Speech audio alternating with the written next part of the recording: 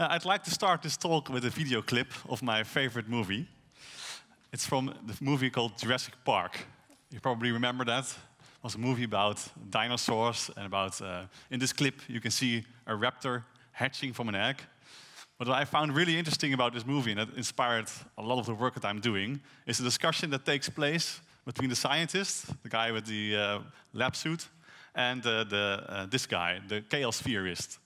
And the scientist, he argues that he's in control. You know, they made dinosaurs and they made just females and they're going to put them in a cage and they can, cannot escape. And the chaos theorist says there's no such thing as that. You know, you cannot control life. You cannot just put an animal in a cage and expect it to never escape. And uh, at the time, I was a teenager when I was watching this, and I was complete, completely into computers. And I was also fascinated by this idea of control. And what this chaos theory said about chaos in life uh, turn that around. Uh, I also feel like that we have to embrace that. And he said uh, these famous words uh, life finds a way. And if you look under the microscope to um, microscopic, uh, for example, bacteria, I always get fascinated by this. This is kind of a, a miracle to me. These are small, tiny, living things, living machines that can replicate themselves. They, can, uh, they are super resilient to changes in their environment. They can share their information. Each of, and every one of them is unique. And still, they are very much alike and they can adapt all the time. So I decided to switch from my interest in computers into the interest of biology. And uh, I'm going to show you a couple of examples of what uh, the biotechnology nowadays is capable of. Uh, for example, uh, this project, uh, OpenWorms, it's a project where they have been able to simulate an entire worm. So not just a, a microbe, not just the bacteria, but the entire worm itself is simulated in a computer, and they can also now predict its behavior. And may, maybe one day this could um, yeah, replace test animals to, to predict what drugs do to an animal. Um, we're doing so many different things to animals that uh, uh, a friend of mine, an artist called Rich Pell, is now collecting them in a, in a, in a center called the Center for Post-Natural History. It's a center where he collects samples of animals that have been modified and changed by people, by, for example, changing their DNA. And uh, one that's standing in the front is the BioSteel goat. It's a goat that has uh, spider silk in its milk. Um, and on the background, you see a picture of a, of a mouse. On the left, it has uh, ribs. And on the right, one gene has been edited and it doesn't have ribs. And there's also, for example, an alcoholic rat in the cupboard. Um, this is going further and further, faster and faster. I don't know if you follow uh, the, the, developments in this field, but this, for example, is uh, the micro pig. It's been developed by BGI in China. You can order it. You can uh, set the color that you want.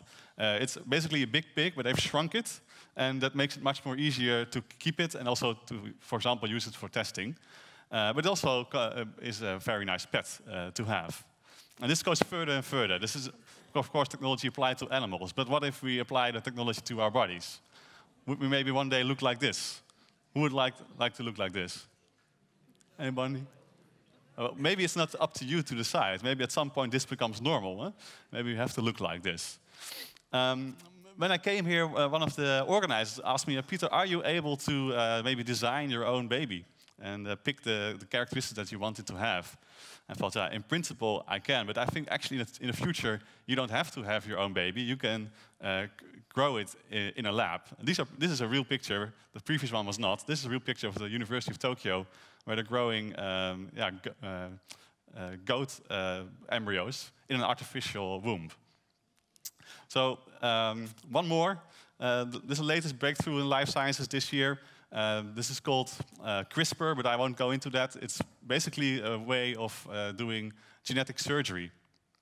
So it's uh, um, a small technology by which you can cut DNA out of already uh, existing living organism. And they've tried it on HIV-infected rats, and they were able to cut out the viruses from the entire living animal. Well, all these um, uh, progresses and uh, inventions are also causing sometimes this uh, feel of uncomfortness and uh, unease. You know, do we really want, uh, for example, glow-in-the-dark bunnies? Uh, do we want to design our own baby? Uh, Eduardo Kac made this artwork already in the year 2000 to, to trigger that question, like, how do we relate to this? Uh, um, are these animals, are these still social beings? Are we, um, yeah, do we have a relationship with this? Or is this just an object? Are, are, are we turning nature into objects and are we treating them as objects? And do we totally forget about morality or about uh, yeah, uh, justice? And I think one way to, uh, to, yeah, to research that question is to do it yourself. Um, I'm a do-it-yourself biologist, and I was inspired by people like this, Kay Aull, who started building a lab in their own house. So uh, I used to uh, do tests in formal labs in a university, but then I slowly started building my own lab like this one, uh, just in my own place, to really tinker and see whether I can control this and what it does to me. And when I was doing this, I also met people at the Waag. Uh, in Amsterdam is an institute, and they asked, why don't we set up a, a, space where more and more people can get together, and together we can research what this really means. So we opened up a lab. It's a, it's a, a normal biotech lab. It is equipped with some uh, makeshift uh, um, machines, and you can do uh, genetic engineering there. You can um, yeah, grow plants, algae, work with all kinds of fungi, and uh, do that together. It's an open space, and I like to think of it as a third space. So your first place is your home, your second place is your work, and a third place is a place where you can just hang out, uh, make friends, uh, have conversations. But in this place, you can actually do extreme uh, do-it-yourself bio experiments. Um, this is not just a place where we meet and hang out, but we also organize workshops so that, for example, you can learn how to 3D print, print with biomaterials. There are exhibitions and performances. Um, and we started out spreading this knowledge to other people. So we thought, what is really necessary for more people to get involved in this? And um, one of the key things is having access to the tools to do this, because most people, yeah, they don't, don't have access to the machines that you need to do um, yeah, modern biotechnology. So we started out simple, based on some open source designs on the web. Uh, for example, designing a microscope. And on the left you see uh, a picture of the microscope uh, designed in a 3D program, and on the right, created with a laser cutter and assembled.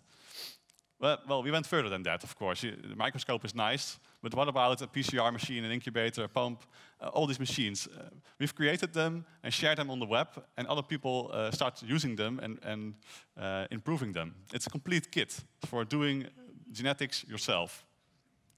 For example, the, the centrifuge. Uh, this one is based on the helicopter rotor that you can buy in any toy store. Uh, you take the helicopter apart, take the motor, and put it in a box. You can use this to extract DNA, for example, from your saliva, from a spit. We share the electronic design online. We share uh, yeah, the design for the rotor, so you can program it and change it. And what happens, what I really find rewarding when you do this, you see other people replicating the same device uh, somewhere else in the world.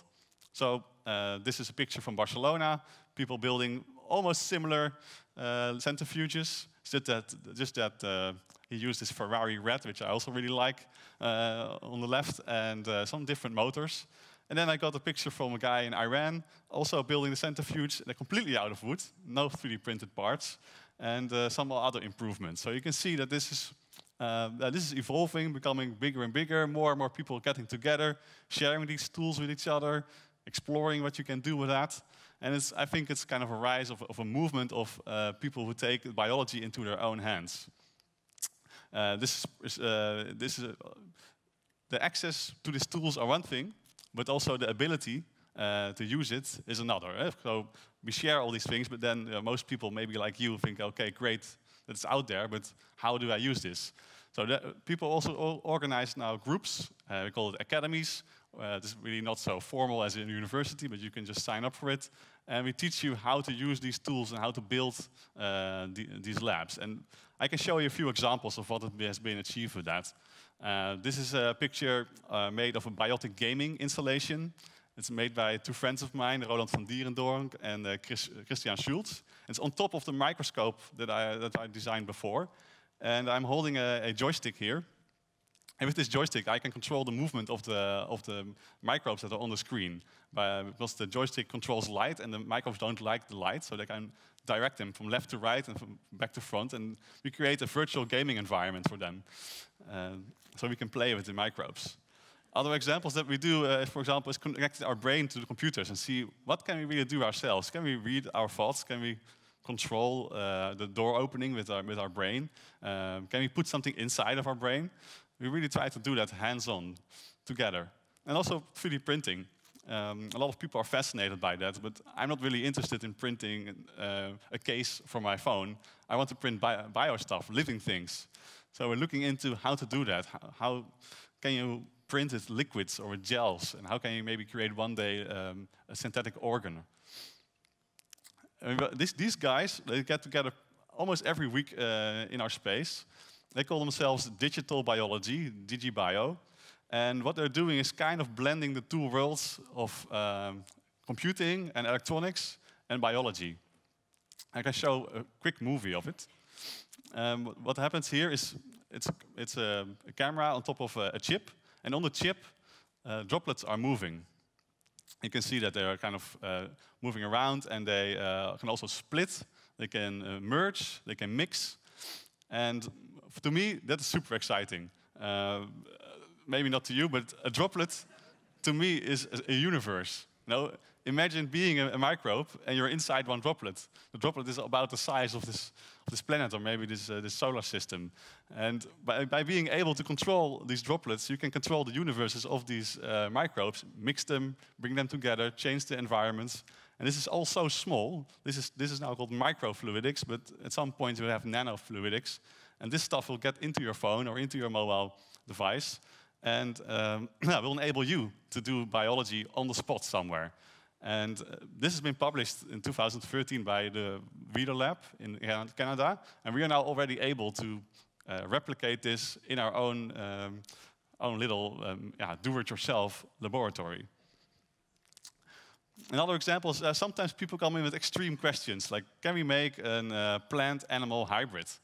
Well, I don't know, you know, uh, let's try. So what we tried is taking plants, and the, really the cells out of plants, and tattooing them into, into pig skin and see if they're still alive and able to, to, to grow. These are just, yeah, um, ideas that come up, and we, we really want to create a space where people can investigate it. And, and is this right or is this wrong? That, those questions, those come up when you're doing it, and when you're uh, together. Um, and finally, we also have a genetic engineering license. I, I, told you that already. So we are the only space in the, in the Netherlands where you can just come in and really start uh, doing genetics without having an uh, official institute uh, behind you. And um, yeah, that opens up also new opportunities and perspectives to, to, to tinker with this technology and try it out yourself. Um, on this uh, occasion, we made gut bacteria that normally live into, in your gut um, glow in the dark. So we took a gene from a jellyfish and placed it inside of the bacteria, and now they're glowing green. This is just, just a try, uh, just, just, an, just an experiment. And well, if you ask me, you know, is this technology really going to end up in, in your home? Are you really going to uh, uh, yeah, grow your own microbes at home? Are you going to make your own drugs, uh, grow your own baby? Um, I don't really think so. I think that that that goes way too far. But um, yeah, if you get back to the, the to the ideas of uh, um, Dr. Malcolm, the chaos theorist from Jurassic Park, that says, well, life uh, finds its way. It will always develop. It will always continue.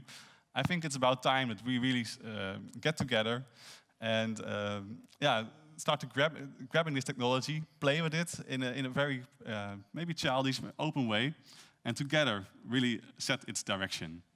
Thank you very much.